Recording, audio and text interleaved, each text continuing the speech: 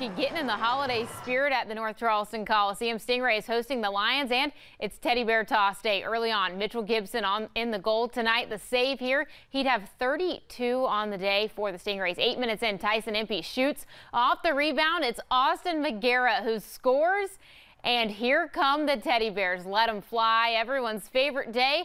All of these stuffed animals, by the way, donated to local nonprofits this holiday season. Awesome thing out there. Austin Magera bringing them in and Rays hold on to a 1-0 lead after one. Second period, wasting no time, less than a minute in. Kevin O'Neill the cross, Austin Magera once again scores there. His second of the day would make it 2 0 Stingrays. And then Cameron Keeley would also net his first goal as a Ray in the second period. Lions would score two in the third, but the Rays hold on to win this one 3 to 2 on Teddy Bear Toss Day.